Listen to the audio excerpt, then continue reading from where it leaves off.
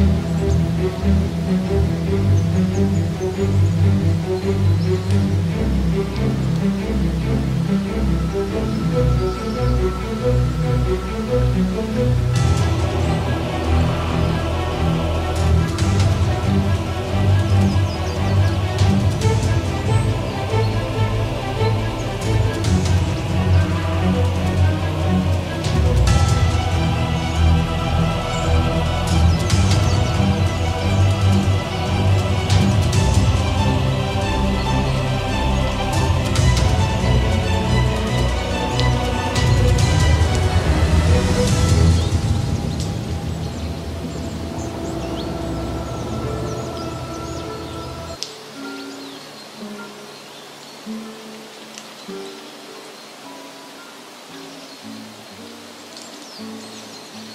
嗯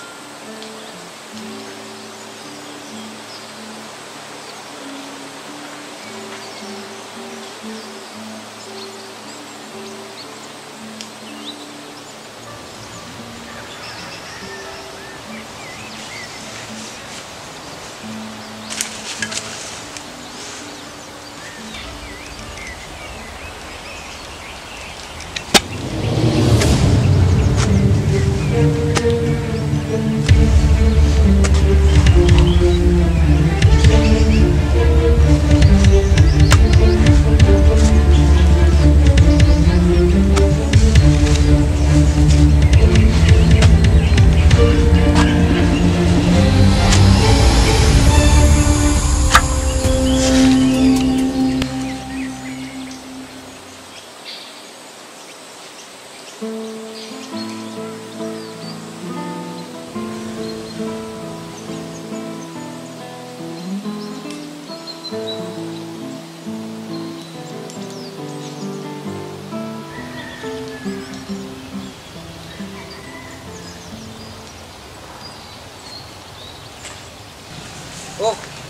Manong Simon, anong may tutulong ko sa'yo? Anong ginagawa mo sa gubat nito? Inyong may tatandaan, dito mismo sa pook na to tayo nagtagpo. Labintatlong taon na ang nakaraan. Binigyan mo ako ng maliit na pakikiramay. At sa pagkakaalam ko, ikaw, si Crisos Ibarra, na sa pagkakaalam ng iba, ay ikaw ay patay na. Nabatid mo ang nag-iisang lihim na maaring maging dahilan ng kasawian at sisira sa aking mga plano. Hindi mo ba naisip na dahil dito, maaari kang masawi sa aking mga kamay? Sandali lang, sandali lang. Teka lang, hindi ganyan ang pagkakakilala ko sa iyo, Ginoong Simon. Isang malaking banta para sa akin ang pagkakatuklas mo sa aking lihim. Ginoong Simon, nooy natulan ka na bilang isang filibustero at nakulong. Hayaan mo ba mangyari ito muli?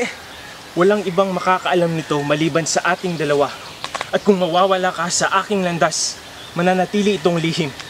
Madaling palabasin na pinatay ka ng mga tulisan sa gubat na ito. Kung ganon, mali pala ang pagkakakilala ko sa iyo. Totoong ako'y naparito, may labing tatlong taon na ang nakaraan, upang gunatiin ang aking kaibigan na inialay ang buhay sa kanyang bayan. Hindi ko akalain na ang laso na naiwan ay lubusang kumalat sa lipunan. At ultimo ang kabataan, walang ginawa kundi sumunod, magpaalipin, hindi binakikinggan. Nagkakamali ka, Ginoong Simon. Kung hindi dahil sa pag-aaral ng mga kabataan ng wikang Kastila, hindi tayo pakikinggan ng pamahalaan. At ang wikang Kastila ang magbibigay at magbubuklod ng tulay sa mga Pilipino. Isang kangalan ng paniniwala ninyo. Itatago lamang ng wad na wikang ito ang ating karapatan, ang ating paniniwala, at ating pagkatao. Mali. Mali ang iniisip mo, Ginoong Simon. Sa simula pa lamang ay nasaksiyan ko na ang inyong grupo. Ang mga kabataan na nagnais itatag ang Akademya ng mga Kastila. Pero, hayaan kitang mabuhay, Basilio. Ngunit, sumama ka sa akin. Sabay nating ikisakatuparan ang aking mga plano. Salamat sa pagtitiwala, Ginoong Simon. Ngunit, ako man sa sarili ko'y may pangarap din. Gusto ko makapagtapos at gusto ko maging ganap na doktor. At anong mapapala mo kung ikaw ay makakapagtapos? Makikita mo bang masaya at nagdiriwang ang bayan? Magiging malaya ba ang mga tao? Hayaan mo na lang ba na mabulok sa lupa ang iyong ina?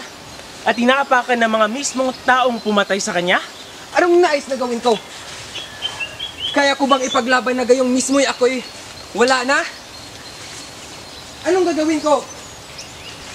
Iharap sa hukuman ang ina't kapatid ko at magbintang ng Kastila? Wala akong kakayahan!